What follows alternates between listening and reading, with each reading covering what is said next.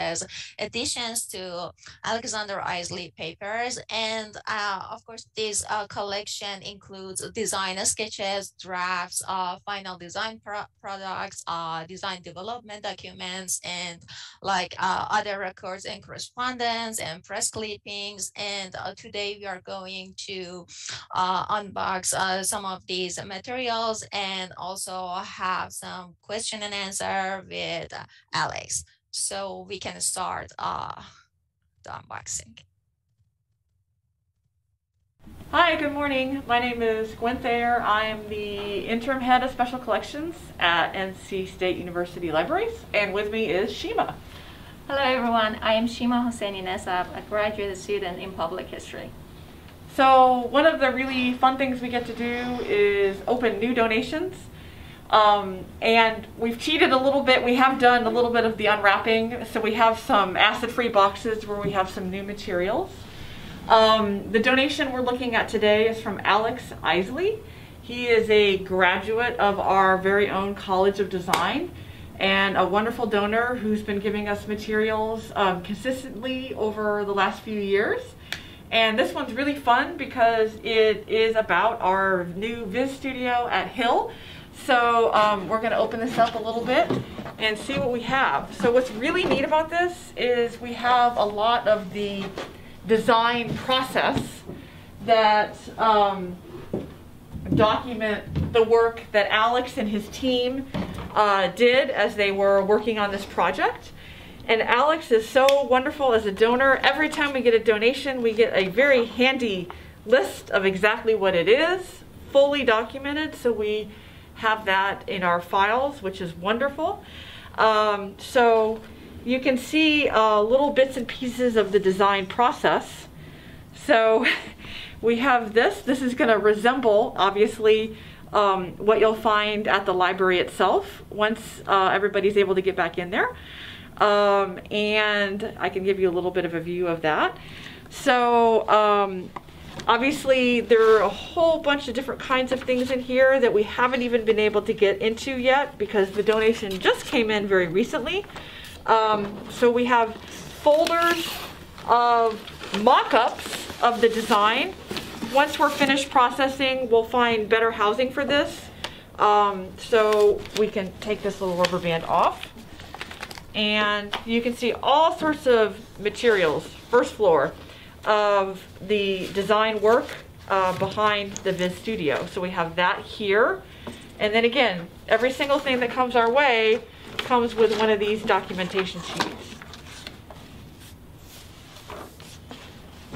That's a separate project. And then over here, glass wall partition refinements.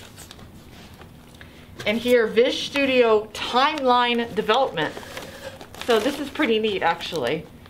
So we just got these. We haven't finished processing them yet. We'll end up getting them housed um, in a very permanent way.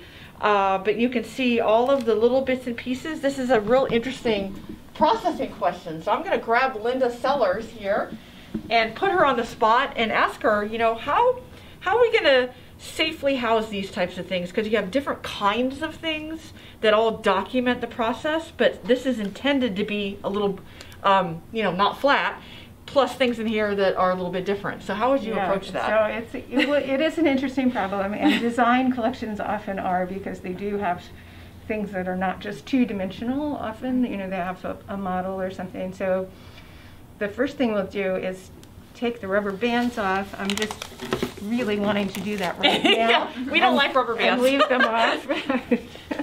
um, and then we'll look at what's in here and um, we have some uh, folders that will fit this box pretty um, pretty much. They're about the size of the box. So I think in this case we'll take whatever is flat and put it in a folder or two. And um, then I think we'll put them on the box maybe with this just lying on top so that it doesn't get flattened. Mm -hmm. um, and just leave some space. Uh, and then it looks like down here we have some things that are right actually bigger than the box. And we'll have to pull them out and look and see whether the best thing is to, Right.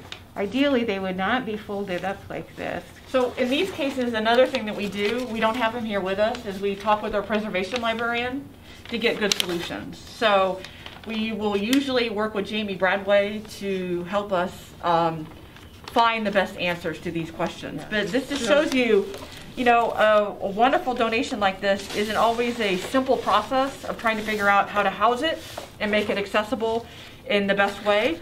Um, but what's really neat about this as I start to look at it is it's like the brains, the thought, the process behind the final product. So that's what we do in archives, you know, especially in someone's papers.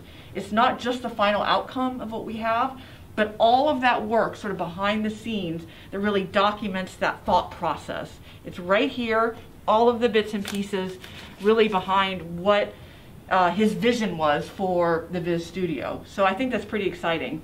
Um, Shima, do you have any thoughts about this? Because a lot of times we have our graduate students, someone like Shima, who work through these problems and work through the processing project.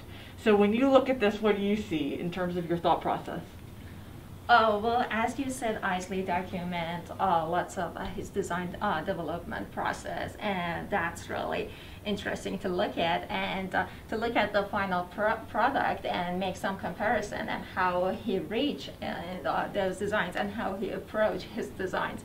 But something that is interesting about his collection is that he also like keeps all his financial records, all his like office records. So it's good to have the final product, the uh, the process, and all those papers worked all together to understand the dynamics of like design companies. Right, that's great. Thank you, Shima. Any other final thoughts before we go into our next Alex Isley box? no. Okay, we'll, we'll stop there and we'll go on the next one. Good morning. My name is Gwynn Thayer. I'm the interim head of special collections here at NC State University Libraries, and with me today is Shima. Hello, everyone. I am Shima Hosseininasab, a graduate student in public history. So one of the really fun things we get to do in special collections is open new donations. So in many cases, they come via a FedEx shipment. For example, this box right here.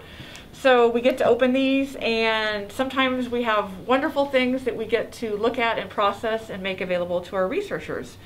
Um, in this case, I have in front of me materials from Alex Isley. Isley was a graduate um, in design from the College of Design and he's actively practicing and doing so many interesting projects. And so I've cheated a little bit. I have opened this already, but typically this is how things will come. Um, and Alex Isley is a wonderful donor. He always gives us a thorough accounting of everything in the box, so very uh, organized and thorough when he gives his donations. So um, a few of these things I have opened already, but just, just to kind of let you know, it's really fun and exciting to get these new donations. Um, we've got a few um, boxes here that are um, already processed in their acid-free um, containers and what have you. But just to give you a little bit of a sense, um, there's all sorts of creative items and wonderful items that are a little bit off the grid in terms of what we normally see. Um, and Shima, you were processing a lot of this collection, right? So why don't you dig in here and tell me some of the things that you've discovered as you've been processing? So you can find many of the final products that Isley designed. So here, for example, in this box, we have this uh, uh, this packet for ice cream. And I will put it over here. And also like some stuff from uh, Design Within Reach. And these are part of Alexander Isley's holiday gifts to these companies. So if I open this so you can see the also we have like interesting stuff over here Let's see what this is. That's a level. Yes, this is a level.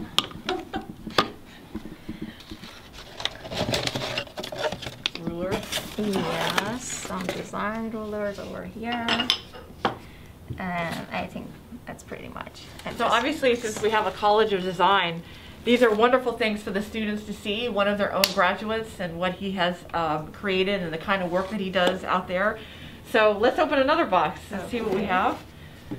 See, with Alex, it's just so much fun because you just really never quite know what you're going to have here. And to have these product examples is really special and neat to have in the archive. These are also part of Alexander Isley's holiday gifts. And let's open this one and see what's inside this. So Oh, It's wow. a coffee maker. It's a coffee maker. We don't use these in the archives. These are staying in the box. But let's, um, is there, oh, wow. These are espresso beans. Yeah. We are talking with preservation. We Yeah. have to keep them or not. All right, what's So- in there? Let's see. A yo-yo. Yes, a yo-yo. And we also have like a survival kit. And a ball. Okay. Wow.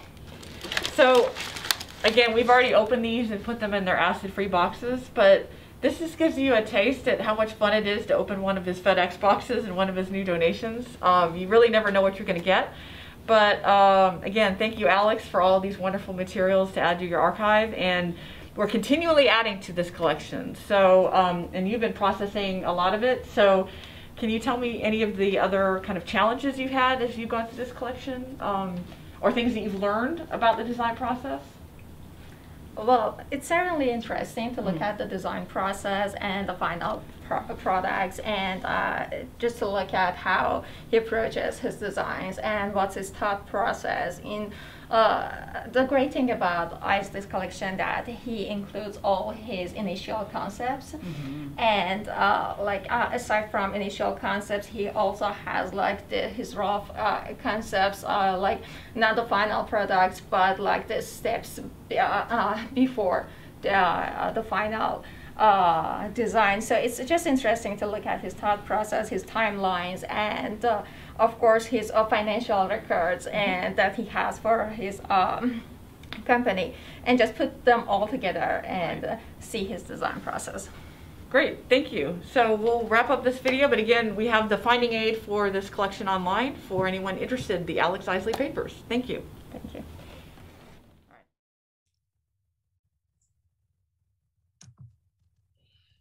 Hi, everyone. I hope you can hear me this time. Um, our apologies for a little bit of a technical glitch. Um, so I'm going to actually do the introductions again. So today we have with us um, two guests, one very special guest who is a donor to special collections here at NC State University Libraries. So I'm going to begin by introducing Alex Isley. Alex was born in Durham and attended Durham Academy. He attended NC State and also then continued on to the Cooper Union and began an amazing design career. He worked at M and Company, and then he was also the art director at Spy Magazine, which was an amazing publication of which we have some examples in his collection. Um, in 1988, he founded the Alexander Isley Incorporated Company in New York City, and then later moved his company to Connecticut. So in his career, he's done an amazing amount of things, many of which are documented in the collection. In 2014, he received the AIGA medal, which is an extremely prestigious award. So I just want to, you know, definitely focus on Alex. We also have Shima here today. Shima is one of our graduate students in history, and she helped us in special collections process this collection. Um, we have the link to the finding here, excuse me, the link to the finding aid available to you all to see, to see what's in the collection. And Shima will be asking Alex some questions um, that were inspired uh, by, you know, working in the collection, seeing what he donated and whatnot. So again, I'd like to thank Alex for joining us today and doing this kind of new experimental thing that we call Twitch. So Alex, thank you so much for your time. Um, and we'll see how this goes. And Shima, I'm going to turn it over to you. And once again, Shima is one of our graduate students in public history here at NC State, also working with us in the library. So Shima, you could take it from here. Okay. Hello, everyone. I am Shima. As Gwynn said, uh, I'm a graduate assistant here, and my job involves uh, processing archival materials and facilitating access to our collections. And I, actually, one of my responsibilities is to process uh, additions to Alexander Isley papers. So, uh, Alexander Isley papers includes like uh, design uh, uh, final products, design sketches and drafts and uh, uh, uh, development documents. And today I actually would like to ask a couple of questions from Alex about these materials.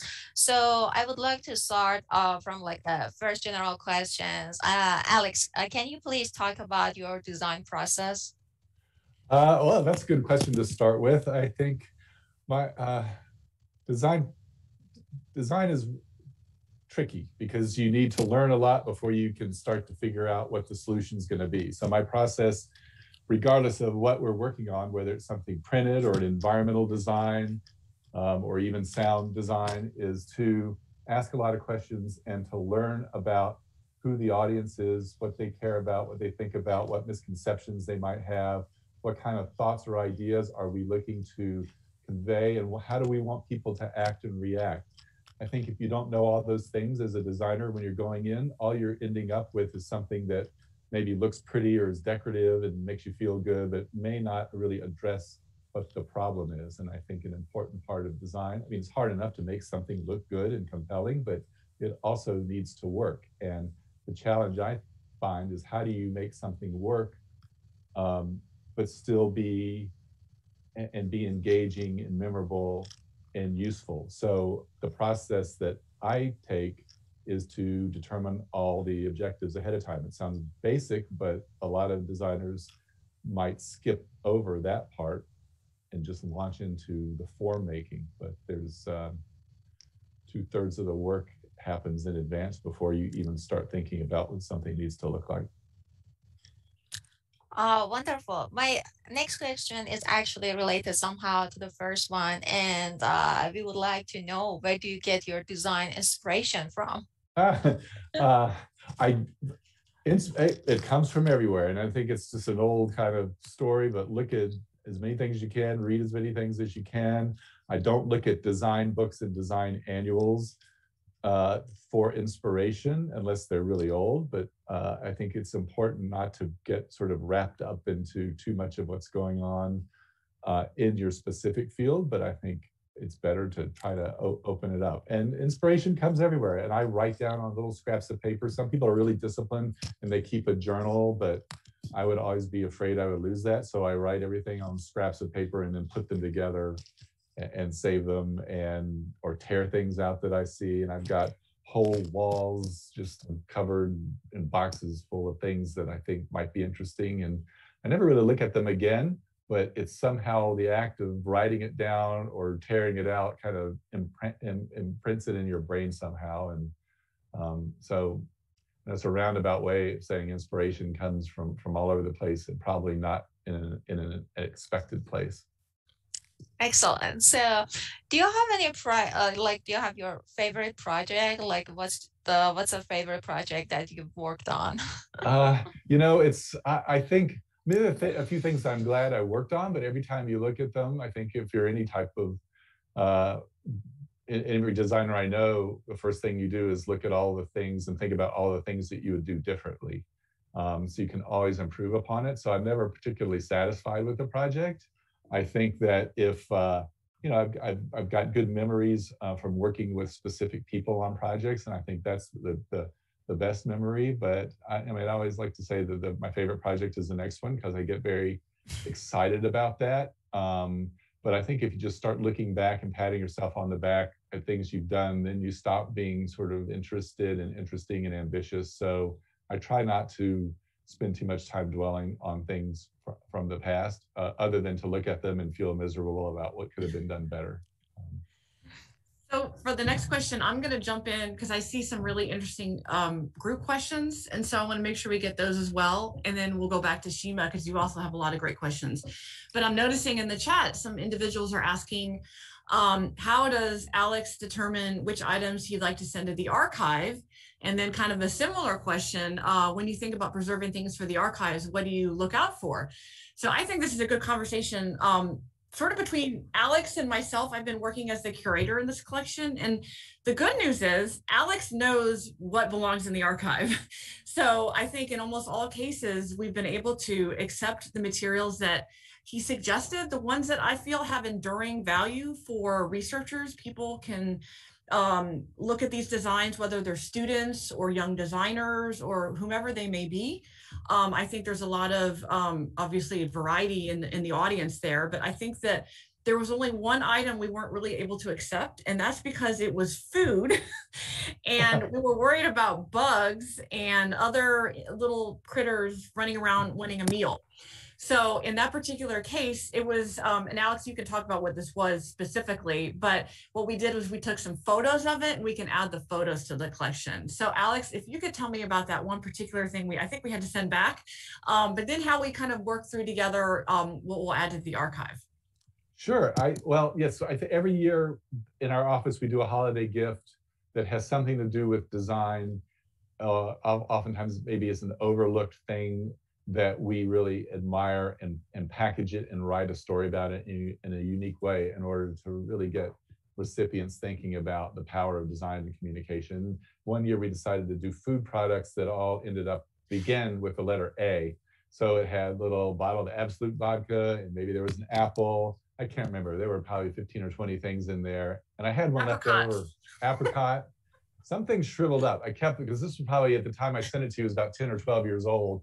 And I thought, well, they might like to have this. And, you know, I didn't really think about ants or, you know, we were getting a real rodent infestation problem in my office. So I figured we would send it down to Gwynn so that I could dump off the problem. With C for cockroach. No, we, we didn't find any cockroaches, no, no. but, um, but that's, so that came back after you documented it. So, uh, yeah. but other than that, I mean, I think the, the bigger question was that, you know, I, I was really flattered probably six or seven years ago, and Gwynn reached out and asked if we had some things that we could donate. And I I save everything. Ever since I was a little boy, I'm a real pack rat. I I take that as a compliment. So I really don't really get rid of much stuff. And I said, be careful what you ask for because I have everything from projects I worked on when I was five and six years old, little design projects that I made for myself, and telephones that I created out of cardboard and things like that. So I had all that stuff. And um, so I started sending down work that we had done.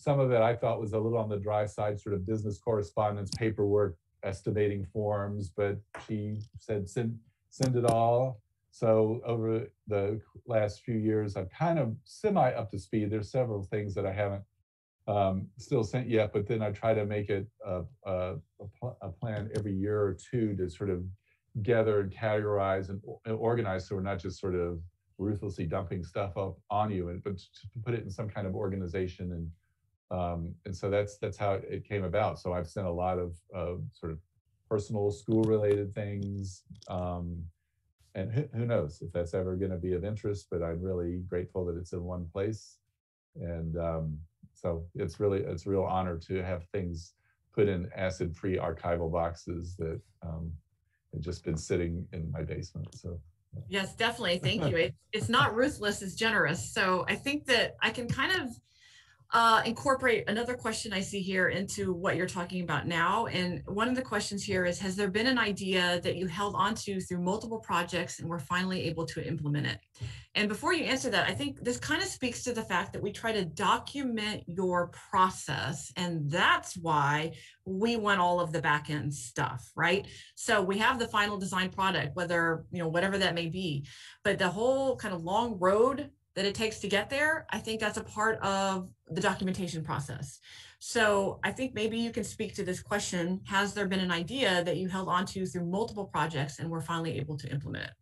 There, I think there are always things. I don't really try to force an idea that's that's not natural. In fact, sometimes clients, when they come to me, or they did earlier on in my career, they'd seen something they wanted and they wanted an exact duplicate of that. And then I would have to explain, well, listen, the way that that thing looked or how, how it, what it says is a specific response to a set of problems and circumstances that you just can't apply like a lacquer on top of the, the design. But having said that, sure, there's some ideas that I've thought might work for, for some uh, client and they didn't take it. And perhaps in months or even years down the road, a similar set of circumstances might pop up.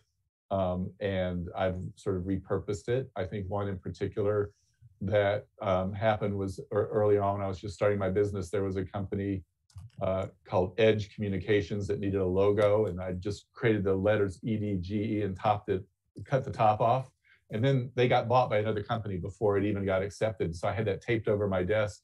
And about a year later, this chef, Bobby Flay, called up and he had this restaurant called Mesa Grill. And I used the same idea and they were staggered about how quickly I was able to come up with a solution because you know, I drew it while I was on the phone with them based on what was in front of me. It doesn't happen that often, but I would, my advice to designers is hold on to everything and maybe something will sort of pirouette to the surface in your brain where it would be appropriate. Um, so yeah, sure. I think I keep, I keep, you know, if, if something doesn't get accepted, um, I think it's okay to, if, if it's appropriate, try, try it again for someone who might be more open to it. Or might, it actually turns out sometimes the time it's been quote unquote recycled actually works better than the first time around. So so before we go back to Shima, I know you have a lot of other questions you have about designing. Um, and, and since you process the question, I do see another question from the audience that I want to address, and that is, is a design eye something you have to be born with, or are there ways to develop it intentionally? Uh, I, I don't think you're born with it. I think design is a skill. I mean, certainly some people have more of a sort of maybe a sensibility, a visual sensibility, but I think design is like drawing. People say, oh, I could never draw, but that's it's a skill that can be practiced and it, it can be learned. There's a vocabulary to design. I think knowing, um, uh, ha having a sense of history, having a sense of, um, of, of learning about how different problems are solved, it's certainly that that's solvable. Um, I've taught in, in the past at university level, and in some cases, they'll have someone come into a graduate program who's never studied design in their life. Um, and they will maybe go through a preliminary program, but after the three years, I would argue they're better designers than the people that maybe studied it as an undergraduate, um, which just goes to show that if you're curious, thoughtful, and have an eye or a sensibility and want to know how to apply it, uh, design design can be learned. It's it's it's not a mystery. Um, Great, thank you. So my next next question to Alex is, how do you measure the success of your designs? Uh, well, it's, I mean, especially in graphic design, it's very typical. We have some clients that ask what their ROI is, return on investment and there's so many, if you're designing, say, an identity or a logo for an organization, it's really hard to um, categorize that because there's so many elements that go into success. It's the way that the the, the product or the company is is promoted. It's how it's the quality of the item itself, the experience that people have. That that design can help inform and establish, but there's so many other things that take a, a role in it. And it frustrates some clients because they want to know that their business is going to go up. I mean, uh, it, it's it's tough. Although we did uh, a couple of years ago a retail uh, environment, a gift shop in a museum, and we redesigned it and kept the same items, same price points, and sales went up 42% in the first year. So I trot that out as my ROI, which is a staggering in increase, and probably I'll never duplicate anything like that again sometimes you can track it. You can, if you're designing a website or an email, you can track engagement. I mean, that's a little bit easier, but a lot of what we do is so slippery and we're touched, we touch different parts of, of, of, a, of a user's experience that it, it, it's tough, you know? I mean, my, my ROI, I think, you know, at the beginning we, we, we talk about how do we determine success when we start a project? And we really try to get the clients to, to um, agree to that. And if they're looking for a dollar sales increase, I, I, won't take the project on because there's so many things out of our control. Um, but usually people are understanding that that's not it. Success for me is if someone sort of smiles and claps their hands and says Eureka, and they say, I can't believe we're paying you for that because it's so simple. My kid could have done that. I'll take that as the most ringing endorsement that we can get. So, so a disgruntled client uh, annoyed that she's paying for something that um, seems very simple and obvious. That's my that's my determination of success. Great, thank you so much. So uh, I have a little bit more specific question about your holiday gifts. So you have all these amazing holiday gifts, and can you talk about these gifts, or like that you give to your clients? Yeah, every year. I mean, a lot of times designers will send out things to clients, and usually, I, don't know, the ones I've seen are kind of just buy a bottle of wine and you design a label and stick it on there, and that's it. And that's fine. It's kind of easy to do, but to me, it's it's more interesting to create to sort of select an object that I think is well designed and maybe gets overlooked, sort of a commonplace design. For example, we did a baseball one year that we had custom imprinted. I think baseballs are beautiful design objects, two identical pieces of leather that are stitched together with these red chevron stitches and it fits perfectly in a pitcher's hand. And when you throw it, you can make a curveball or a slider. And it just is very basic. And so we'll take an object like that, or maybe it's a shoe tree, a shoe horn, or maybe it's an ice pack that you put on your head or a stapler, things that are just very straightforward and earnest and kind of overlooked, and then write about why we think it's good design, put it in a package that explains why it impresses us and what we think is good about it, and how a good design is simple, basic, effortless, and does its job and does it well. And by sending those out to current clients, potential clients, members of the press, friends of the studio, it's a way of getting our name out there, to be honest. It's a promotional item, but it also gets across some of the idea of what we value as designers and how our role in taking an idea or an object and adding to it and explaining it and reaching to a wider audience can be translated into a project that we could do for you, Mr. or Mrs. Client. So that's kind of every August, we start agonizing about what that year's gift is going to be. In fact, we had a staff meeting this morning in which we said, okay, it's almost time in a couple of months to start thinking about what what we want to send out this year. So it's kind it's kind of fun. It's it's it's really it's very time consuming, very labor intensive. Occasionally, we'll get a recipient say, "I want you to do one of those for us." Then I tell them what it'll cost because as many the hundreds and hundreds of hours that go into it they kind of have a stroke and say, "Oh, it's okay. We're just going to order a frisbee with our name on it instead." But you know, every once in a while, someone bites, and we are lucky enough to be commissioned to do some of those. We did some for Design Within Reach a couple of years ago that I was very excited about because we got to write the copy, source the material, create the project, create the packaging. So it's a real all-in-one sort of, um, you know, summation of what we like about design and if we've got a good client, what the client thinks about it as well. Great, thank you so much. So uh, one of my other questions is about your connection with NC State. Can you talk about that? oh, sure. Well, I grew up sort of knowing, uh, uh, you know, being in awe of the NC State College of Design. My father went there as an architect. In fact, he was in one of the very first graduating classes. He came over from Oklahoma under Henry Kamphoefner, who founded the College of Design. So he was in the first group and he studied architecture. And so I kind of grew up hearing these stories about, you know, uh, the luminaries who had visited the college and he made things in his, uh, you know, workshop and he he would do his drafting at home sometimes. So to me, it was very magic seeing what an architect could do. And I looked at different schools honestly, because um, I didn't want to live so close to home. I'm from Durham, except NC State was the only school that wanted to see your portfolio and grades. Everyone else wanted one or the other, and it was a great school. So that's that's my connection. How I ended up there. Um, my brother Nathan subsequently studied architecture there, so it's, it's sort of a family. Uh, uh, and, and my, my other two brothers Malcolm and Duncan also went to NC State. So there were four boys in our family. We all went to college there, and uh, you know, my and my dad did as well, obviously. So there's definitely a real connection, and I'm grateful in subsequent years to have to to have NC State as a client and have done several projects there, which is a lot a lot of fun, very rewarding.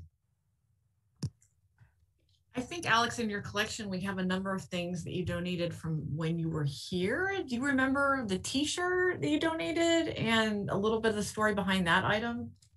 Sure. I, there was a few student projects that I included, and there was one time, I don't recommend this, by the way, but there was one time with some colleagues and our classmates uh, realized that the way that Brooks Hall and the School of Design buildings were all aligned about an axis. And we thought, well, since we're studying design and we appreciate formality, we would celebrate that axis, the line that ran through the buildings. So we took a wide roll of paper one night and draped it over the building and spray painted the word axis every 20 feet and had t-shirts made that we had specified. And, you know, it was an all night endeavor. We were very proud of it. Sort of, we were inspired by Christo, the artist, running fence where he would do these temporary installations or write the Reichstag. And so, and then the campus police came and really threatened to arrest us or have us arrested. So they, they, and we took it all down, but it was documented. So there's some artifacts from that endeavor that are in there. Don't do this at home, kids. And, um, but it, it, it was, I don't recommend climbing on the buildings, but some of those photos and uh, artifacts are in the collections of the library. Yeah. So, I remember the T-shirt, and someone actually asked about the Axis stencil, which I think is from 1982. I see a reference to it in the finding aid. That's it. Um, You've got this is stencil yeah. that we use to make the shirts or we go. and or the uh, stencil on the on the on the paper. So yeah, you got it now. So Yeah, so it looks like the answer is yes for that one. Um, another thing, well, there's two questions I have. We in the the video that we showed, we talked a little bit about the Viz Studio and the design process. I kind of wanted to address that, and then perhaps if you have time, something we didn't do in the video was a little bit of your work on the 9/11 project. So, um, do you think you could speak to those two things? Sure. I think, well, the Viz Studio, um, we were approached by the um, NC State Libraries and the Office of the Architect at the university to work on the renovation of the DH Hill Library. And we had done previously, a few, years before, worked with uh, some of the environmental design elements in the Hunt Library, mainly room designation, donor resignation, uh, res- designation. Um, uh, so we were brought in to do work on the, the, the, the three floors that were being updated for DH Hill. And it was kind of my favorite type of assignment because it was, it was a pretty wide open brief.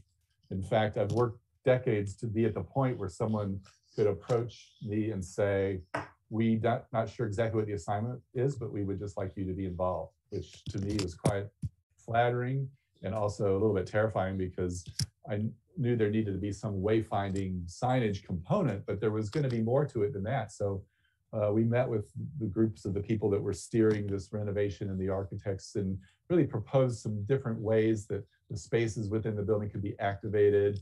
And one of them was this visualization studio, which is, is if you haven't been there yet or opened up, it's this sort of 360 degree presentation room that's got different cameras and screens inside where you can really, it's like a holodeck kind of uh, thing. I haven't ever been there since it's been open because of COVID, but there was this big curved wall, and we thought it would be really good opportunity, good opportunity to do some sort of installation or a mural, something of that sort in the space. And one of the ideas I had was, since the libraries are about uh, collecting, conveying, um, explaining information, what if we did some sort of timeline on the history of data visualization or data collection and dissemination and archiving to sort of talk about not just about the visualization studio, but the libraries as a whole, one of the functions that they uh, fulfill.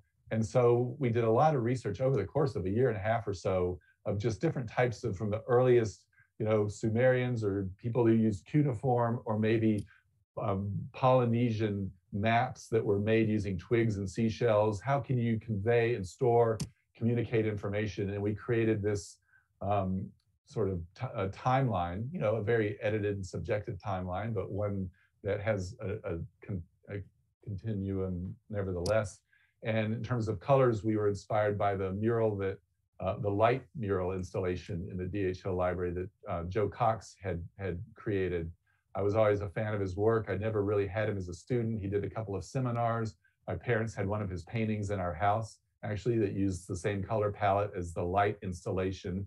So I used that as the basis for the colors, and we made it kind of a serrated design so that when someone walks around it, different colors uh, kind of uh, uh, reveal themselves, and different messages kind of reveal themselves as you as you walk around it. So in a nutshell, that was one of the installation elements that we created. And it's kind of a centerpiece as you come up the main stairway, you see it, um, or one sees it. I, as I said, I haven't seen it in real life, but we made lots of models. mock-ups, and that's what you you that, that that I have that you sent over. We actually have a really big model, about four feet across, on a Lazy Susan that spins around. That was too big for us to send there, but I've got the some of the parts of it were, were included as well, and it was very it was it was very satisfying and, and fun to work on and um, that and, and, there's another uh, you know there's other murals in in the NC State campus. Manuel Bromberg did one. Um, I think it's still there. I'm not sure. Um, that that that sort of was certainly an inspiration for such a thing as well. Um, and the other, sorry, the other question was about the 9/11 um, work.